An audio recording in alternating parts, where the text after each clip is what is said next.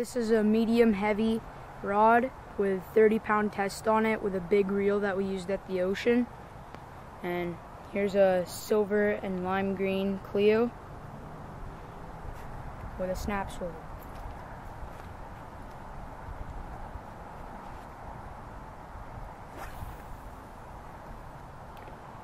Casts really well, even with a cast on. You just have to hold the rod down to the water so the little Cleo doesn't go too high.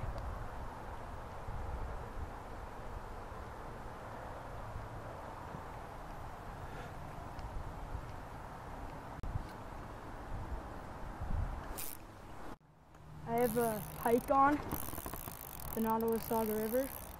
I'm still fishing with my cast on. I just can't stop for four weeks. We're out for steelhead right now.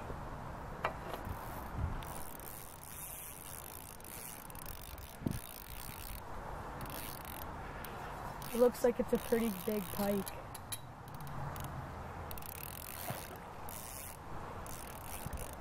I think I have a little Cleo on.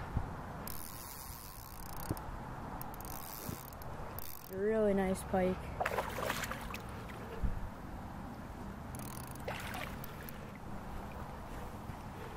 It just inhaled that little Cleo.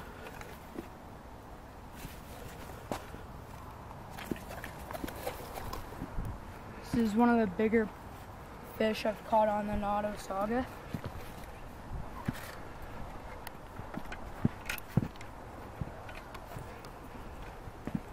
I'll get some pictures for you guys after.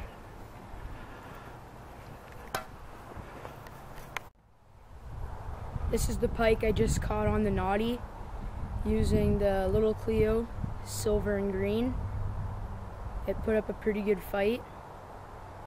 When it's raining outside and you need dry firewood, then the, if you can find a big tree, the inside of that big tree is usually dry. So you just have to find which side is dry, and then you can just take off some bark like that, and it's dry. And this tree's also dead, so you're not hurting it.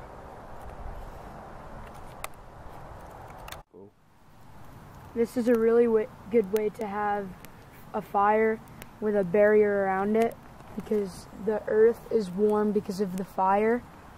Also, you're near the river, so if the fire gets out of control, then you can uh, just get some water and pour it on it. And also, it keeps you warm much better than just a simple pit.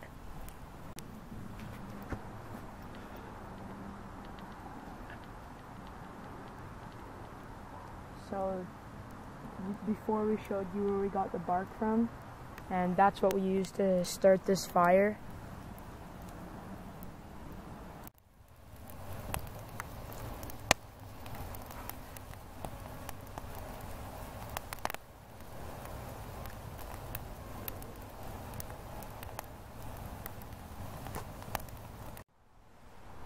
It's getting late and the fire died down. It's time to go home.